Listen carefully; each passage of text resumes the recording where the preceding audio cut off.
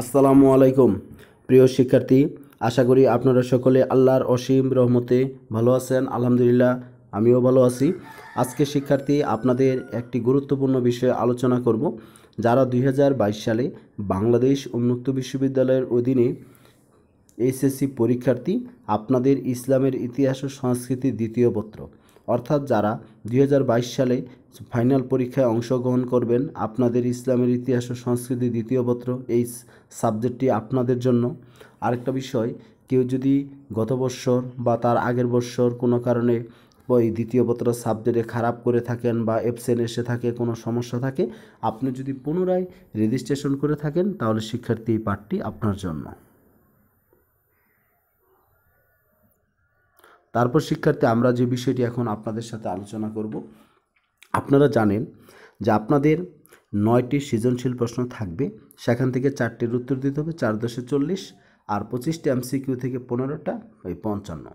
যাই শিক্ষার্থী, এখন আজকে আজকের ভিডিওতে আমি আপনাদের দেখাবো ইসলামের ইতিহাস ও সংস্কৃতি কোন কোন পাঠগুলো না পড়েও আপনি আপনার চারটি সৃজনশীল প্রশ্ন এবং পনেরোটা এমসিকিউর উত্তর করতে পারবেন, সেই পাঠগুলো আজকে আমি আপনাদেরকে দেখাবো। প্রথমে, শিক্ষার্থী, আপনাদেরকে আমি জানিয়ে রাখি যে আমরা এখানে স্টার মার্ক করে দিয়েছি। যেগুলো চারটা করে স্টার মার্ক করা আছে, এগুলোর ইম্পর্টেন্সি বেশি, এগুলো আপনারা সবাই ভালোভাবে ফলো করবেন। আর এই বিষয়গুলো বাংলাদেশ উন্মুক্ত বিশ্ববিদ্যালয় থেকে প্রকাশিত হয়েছে, এটা আপনারা অবশ্যই জানেন, সেজন্য আর এটা আপনাদের সন্দেহের কোনো অবকাশ নেই।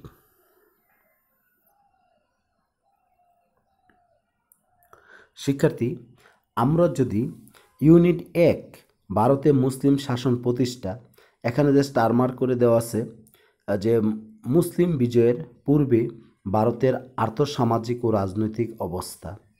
মোহাম্মদ বিন কাসিমের সিন্ধু ও মুলতান বিজয় কারণ, ঘটনা ও ফলাফল, সুলতান মাহমুদ, সামরিক অভিযান, চরিত্র, কৃতিত্ব।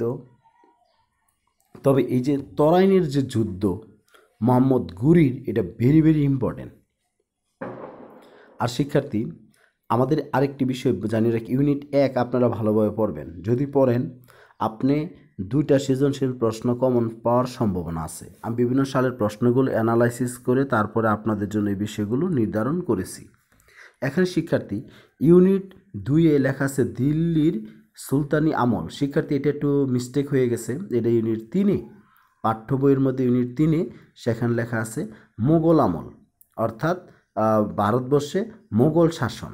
যাই হোক, শিক্ষার্থী, মোগল আমলে, কারণ আমাদের যে জহিরুদ্দিন মোহাম্মদ বাবর, তারপরে সম্রাট হুমায়ুন শেরশাহ এগুলো মোগল আমলে, এগুলো স্টার মার্ক করে দেওয়া আছে। আপনারা এগুলো বুঝে, যেটার মধ্যে বেশি স্টার মার্ক করা আছে, সেটা বেশি গুরুত্বপূর্ণ।